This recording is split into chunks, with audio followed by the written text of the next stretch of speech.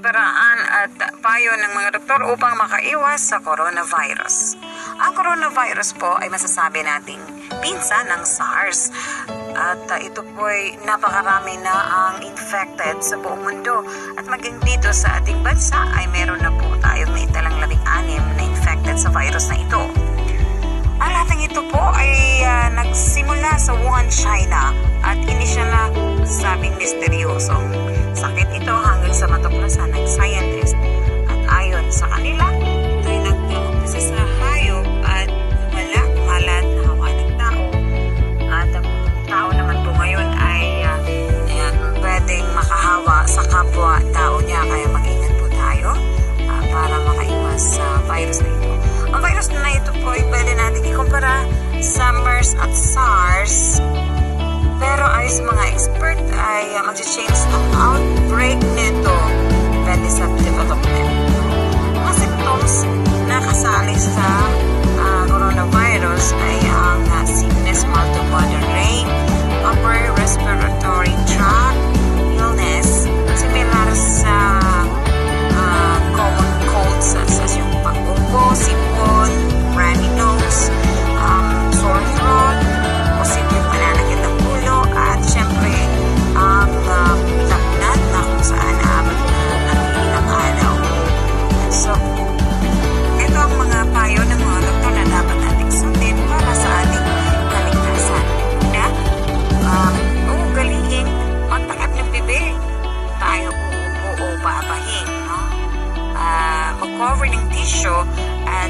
uh, pagkatapos agad-agad itapon yung tissue sa basurahan.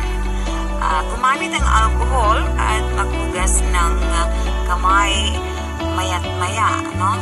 Uh, regular yung paghuhugas natin. Siyempre, may paraan o may tamang paraan na sinasabi ang ating mga doktor para sa paghugas ng ating mga kamay. Una, palm to palm o yung palad sa palad. Pangalawa, hugasan din yung likod ng iyong mga kamay. Pangatlo, yung mga gitna ng ating mga daliri. Ayan, na uh, masas mabuti. At yung fingertips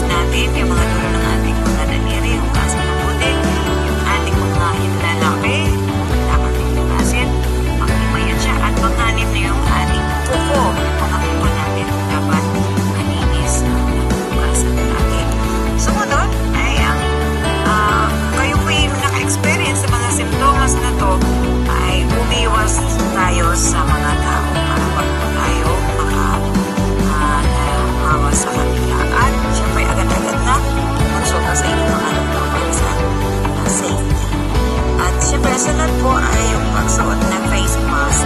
Ang uh, recommended ng mga doktor ay ang N95 na face mask.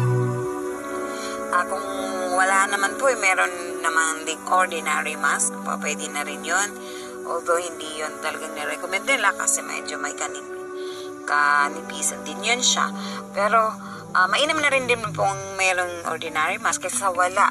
Uh, sa panahon ngayon po eh, um, nagkakaubusan na ng face mask ang ating uh, mga health center o mga saan pang pwedeng bilhan.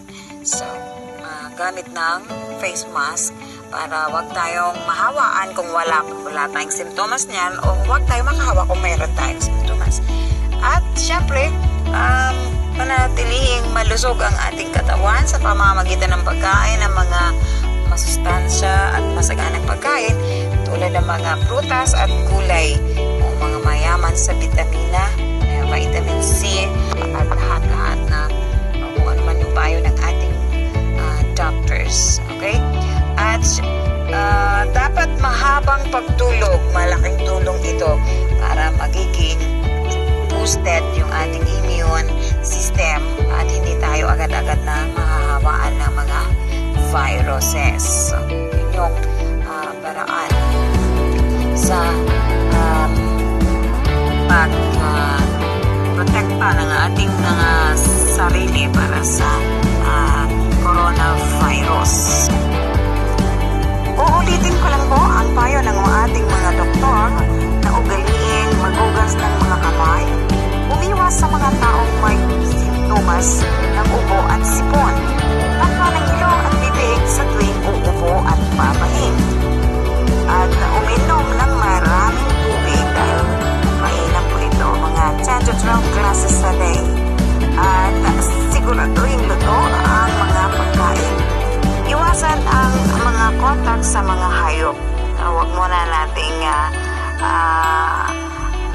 ihaghag yung ating mga pets dyan. No? Pansamantala at laging magmask po kahit na ah, lalo na kung tayo lalabas. So, agarang kumonsulta sa health facility kung may simptomas ng ubo at sipon para po makaiwas tayo sa sakit. May may na napupulit kayong aral dito po sa akin. Uh, sinishare na tips and advice para sa inyo po, para sa